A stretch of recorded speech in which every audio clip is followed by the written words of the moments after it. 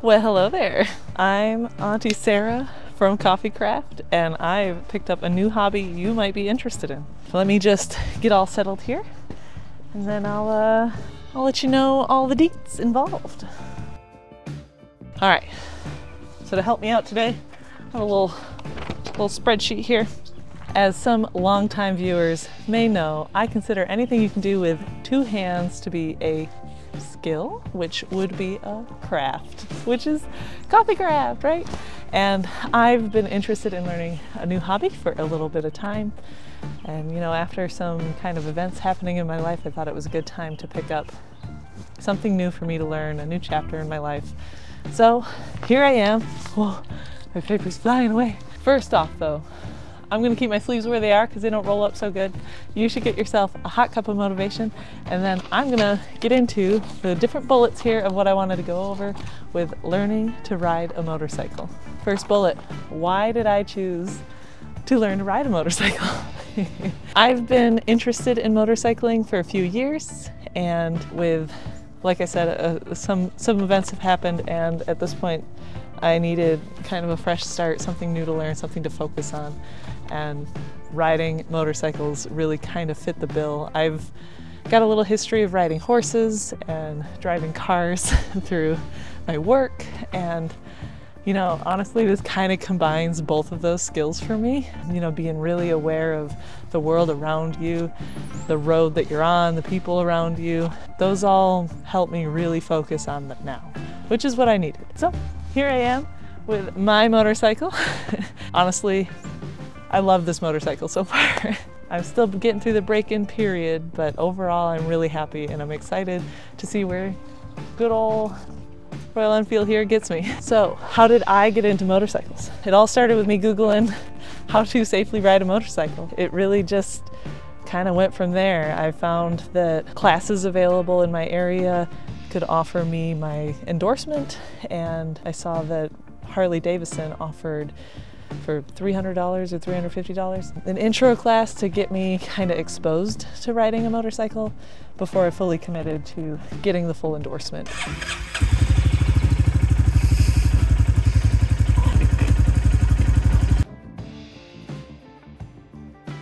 and that worked out really well for me. I recommend it to anybody who has no experience with riding motorcycles but you're a little interested. Show up, they've got a $50 exposure, experience the ride day. That was so much fun. It really did kind of seal the deal that I was going to really enjoy this. Check out your local options. Maybe there's a Harley Davidson near you who offers it as well. So after I signed up for the Harley Davidson class. They sent me the MSF, which is the Motorcycle Safety Foundation e-course that I had to complete online. I can show you a little picture right here of me being very excited to finish that course. Uh, it was a little longer than I expected it to take. I did hear some people in my course kind of flew through it. They had a really easy time with it, but I, I'm, you know, a woman in her 30s.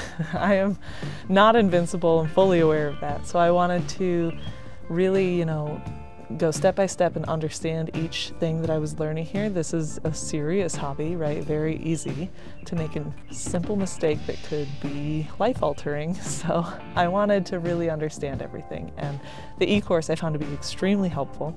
They have videos of different sections where it's in 360 degrees so you can watch the video through the first time, watch it again from a different perspective. And that allowed me to kind of get a handle of how your hands should be moving as your head is moving around or what you need to be looking at in the road before I even got on a motorcycle, which was amazing. After the e-course, I went to my first day. It was 50 mile an hour winds and raining and I had a great time. I never got out of first gear and I had an amazing time just learning the friction zone, learning to drive, right? And very freeing experience. But the full class after that was a three day course where I took the written exam that was based off of that MSF e course and uh, some Michigan state laws. And then I had to ride. It was like almost two full days of just quite grueling different maneuvers to learn how to do that I've used a few times already. And then after that, you take the road course and you're, you're, you're legal to ride. Or as my trainer said, that I am now parking lot certified. and he's right, right? Is I never got out of second gear even in that. So everything I did for that whole weekend was at quite low speeds. So getting out into the real world where everything around me is 50 miles an hour, it's it's a little daunting to someone like me. So it took a little bit to get out of the subdivision for me, but once I did, it's it's been very, very fun, very freeing.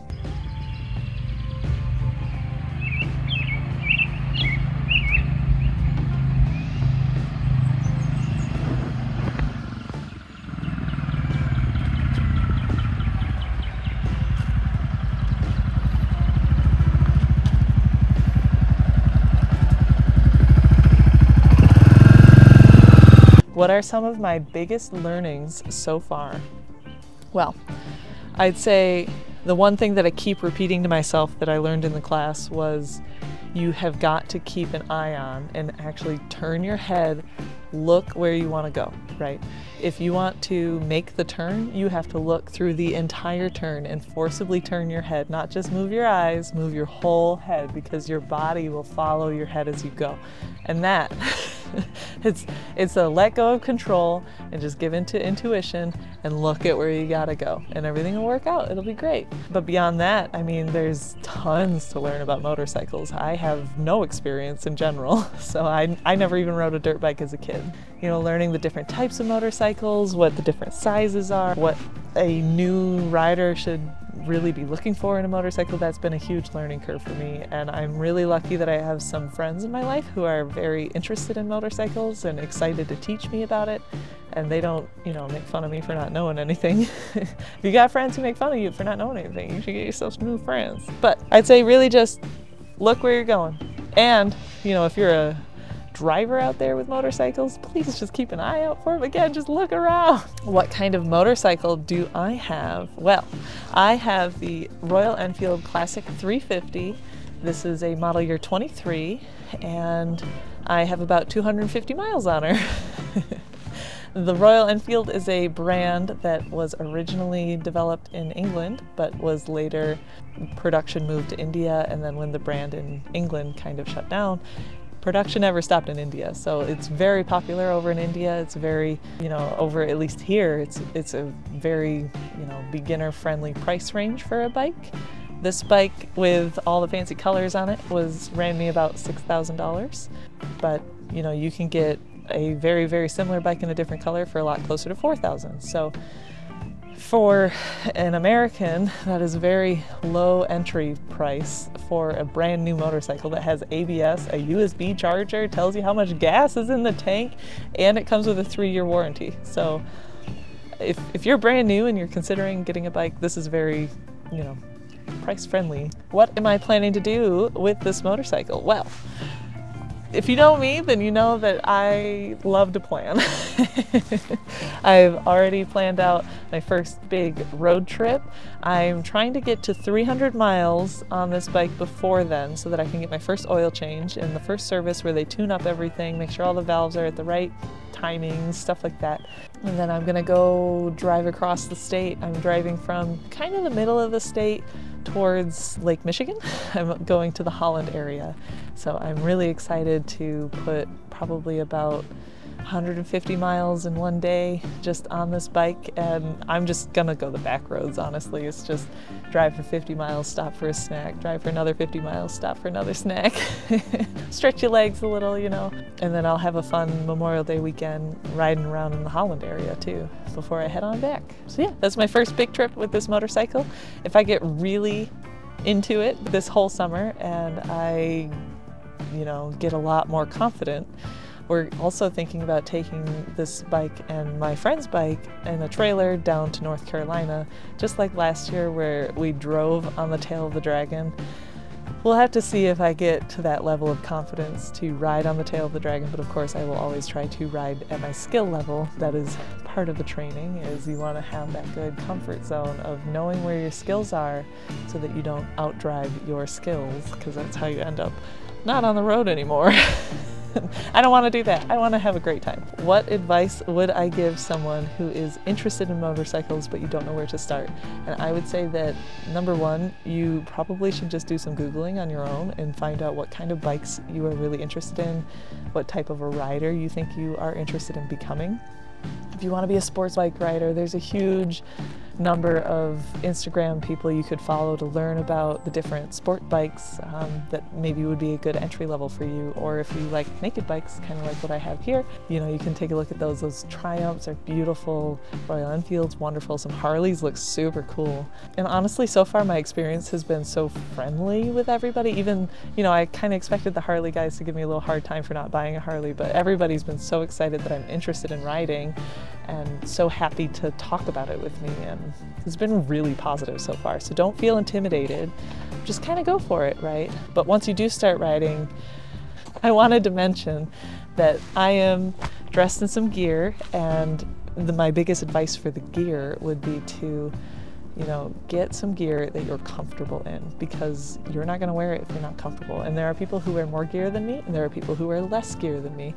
And that's all a personal choice but I chose to get uh, an armored jacket, armored pants, shoes, helmet, good gloves. And the pants and the jacket are about maybe a size or two a little big on me, just so I can wear layers underneath it when it does get a little colder, and I can take the layers off and still wear it when it's uh, a little warmer, because I don't want to get so hot that I take the gear off, right? Because I, I want to wear as much gear as I can for every ride and feel comfortable. So I would say if you're brand new, just do some Googling, just get into it. If you feel intimidated, you know, find a different group of people. They're not the right group. and when you go riding, you should just ride your own ride. You know, don't try to keep up with people. Just focus on what you can do, focus on what you're driving, what you're riding. Keep your eyes up, look where you're gonna go, and as long as you're looking there, you're gonna go there.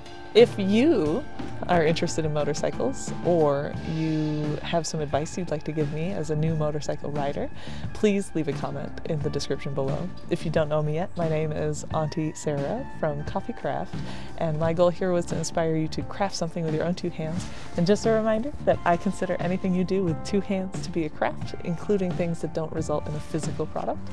This is just as much skill and patience as I need for any other craft that I do.